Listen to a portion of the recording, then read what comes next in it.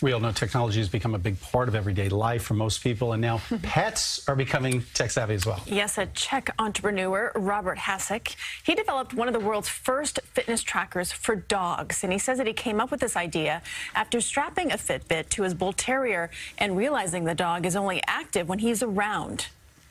If we are measuring all uh, about the dog's life, we can alert you if there is any abnormality. So we can prevent uh, many diseases.